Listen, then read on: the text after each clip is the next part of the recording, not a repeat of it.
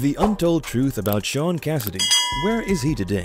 Shaun Cassidy is an American singer, producer, writer, and actor born on the 27th of September 1958 in Los Angeles, California, USA. He's probably best known from appearing in the TV series The Hardy Boys Mysteries and for his number one single, Da Doo Ron Ron.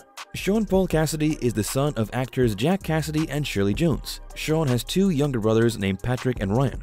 Famous actor and musician David Cassidy, born from his father's first marriage to Evelyn Ward, was his older half-brother who passed away in 2017. Because of his parents' profession, Shaun grew up in Los Angeles and New York, attending Solebury School for his primary education, and then Beverly Hills High School until his matriculation. A simple reminder how to enter our brand new giveaway. We will be giving away either iPhone Max, iPad mini, or MacBook Pro. It's really your choice.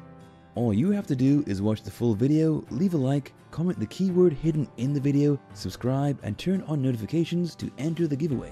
It's really that simple. Shaun signed his first recording contract with Warner Brothers Records while still in his teens, and just a year after matriculating his first step to start recording music, and which led to the release of his first self-titled album in 1977. This solo work achieved multi-platinum certification, and its single Da Doo Ron Ron, originally recorded by girl group The Crystals in the 1950s, charted number one, and won him a nomination as the Best New Artist for the Grammy Awards. The album's second single, entitled That's Rock and Roll, charted at number 3 in US, earning him international fame through its success in Europe and Australia. Despite this huge fame and his successful live tour through the US, suddenly becoming a teen celebrity didn't change Shaun's humble nature. The idea of being any kind of an idol is kind of embarrassing. My self-worth was never rooted in that, he later said. The same year, Cassidy's second album, Born Late, was released, and unlike his first album, this one showcased many songs co-written by him. Written by Eric Carmen, its single Hey Deanie charted at number 7, while a second entitled Do You Believe in Magic, originally recorded by rock band The Lovin' Spoonful in the 1960s, didn't have the same success, hitting number 31 on the Billboard. Despite this, the album was eventually certified platinum, though it received mixed critiques. A few old Beatle maniacs are murmuring that Shaun isn't so bad. He likes the music more than David ever did.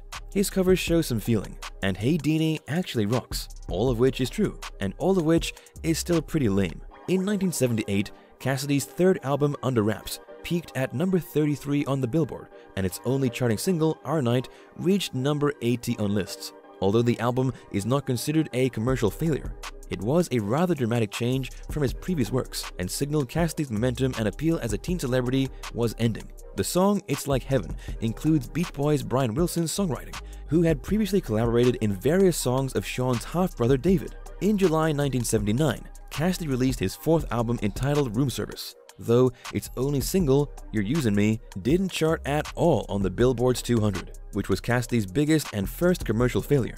Ralph Heibutzki reviewed his work on AllMusic and pointed out its mistakes. The real issue is a lack of distinctive material for Cassidy to call his own. He and Lloyd wrote or co-wrote all but one song, The Letter, so they definitely have to shoulder the blame. Cassidy might have had better luck if he'd stuck to his stripped down guns on Fallen Into You or Break from the Street whose crisp delivery and guitar work make them the best moments here. Wasp, the fifth and last studio album of Cassidy released in 1980, showcased covers of songs such as Rebel Rebel by David Bowie and Once Bitten Twice Shy by Ian Hunter. Searching for a way to reinvent his sound and career, this pop-oriented album was produced by Todd Rundgren, although the single Memory Girl became a hit in Europe. Cassidy's efforts to create a commercially successful album were ineffective, as Wasp was his second album in a row which failed to chart in the US and marked the end of his career as a singer.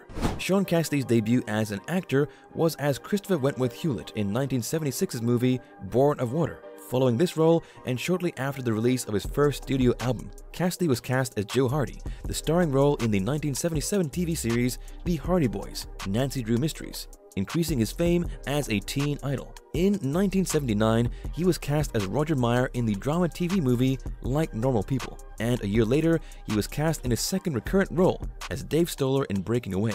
At the start of the 1980s, Cassidy's musical career had sunk considerably. Thus, he decided to stay away from playing characters on TV and focused on Broadway instead, starring in Mass Appeal, a national tour along with Milo O'Shea. He also acted in Bus Stop, which debuted in London, and in the one-year run of Blood Brothers, in which he acted as his half-brother David's counterpart. However, the feud on stage was just for acting, as Cassidy told people, we don't have traditional sibling rivalry, but we're close. We shared a mutual experience that is kind of unique. We compared notes, but I had an advantage. I saw him go through it. In 1985, Cassidy returned to TV when he played David Dishinger's character in an episode of American Playhouse. Next, he appeared as Chad Singer in Murder She Wrote, made a brief appearance in Hospital General in 1987, then in the movie Once Upon a Texas Train, and in the TV series Matlock. Cassidy's last acting appearance was in 1995 in the short film Your Studio and You.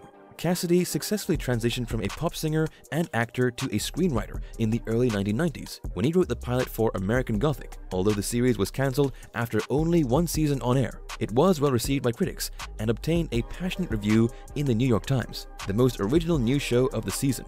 Cassidy continued working on his writing skills and in 1997 created the series Roar, starring Heath Ledger, which was followed in the same year by Players, starring Ice-T. In 2005, Bela Bajaria of Universal Television praised Cassidy on his work and confirmed the network's decision to hire him as the creator and executive producer of the drama horror series Invasion.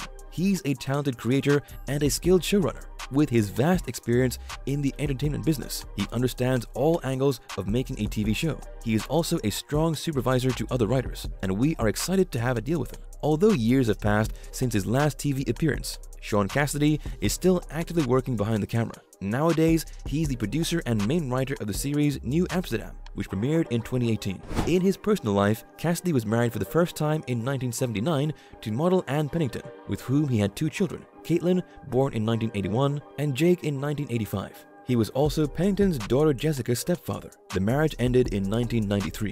In 1995, Cassidy married Susan Diol, with whom he had a daughter Juliet in 1998. But eight years into the marriage, they filed for divorce. In 2004, Cassidy married Tracy Lynn Turner, with whom he has four children, Caleb, Rowan, Lila, and Marin.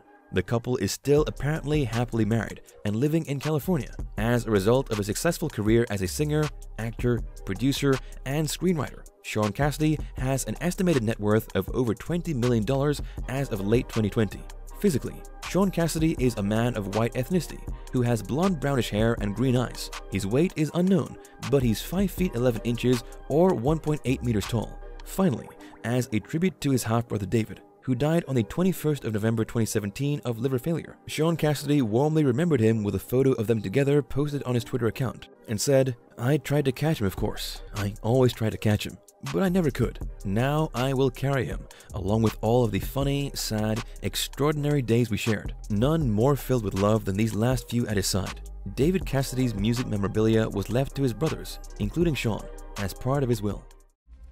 Thank you for spending some time with us. Make sure to like and subscribe so you never miss another video. We also handpick these videos which we recommend you watch next. You can talk to us on all social medias or ask a question in the comments below. Thank you for being with us, and we'll see you back tomorrow.